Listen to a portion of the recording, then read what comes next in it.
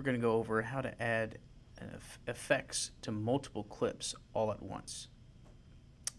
So this can be done with any effect, whether that be, you know, 3D warp, picture-in-picture, superimpose, I mean, AniMatte, you name it, any of these effects can be added to multiple clips at once.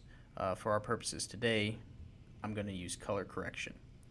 So, um, you drag that effect down onto one of your clips and you edit that. So I'm just going to make this clip black and white.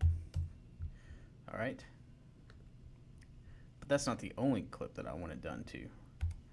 So um, I've got my effects editor pulled up here and I'm just going to click and drag this icon here at the top and put it in my bin.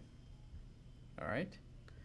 Now, I find I select the other clips that I want to be black and white as well.